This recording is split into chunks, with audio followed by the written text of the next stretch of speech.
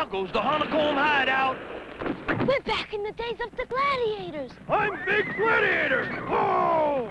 And I need a big cereal. Try honeycomb. It's a big mouthful. Honeycomb's big, big, big, big. Got a big bite. Right, right, right. Honeycomb's a big mouthful. It tastes just right.